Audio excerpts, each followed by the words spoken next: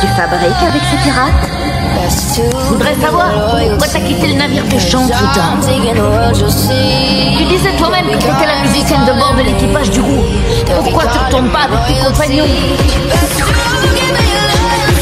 parler de lui Voir là, One Piece, le roi des pirates, le chapeau de chance, tous ces trucs débiles et sans intérêt. Laisse tomber tout ça.